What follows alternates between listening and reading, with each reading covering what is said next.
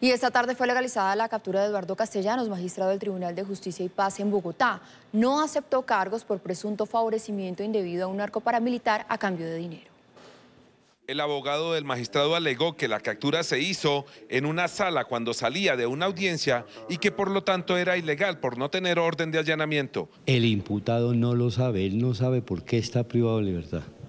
¿En ese caso? No sabe, y lo saben ustedes por qué, porque la fiscalía les ha filtrado toda la información. El magistrado Eduardo Castellanos deberá responder por los delitos de cohecho, revelación de secreto y soborno en actuación judicial. Que es legal su aprehensión en tanto se cumplió acatando una orden.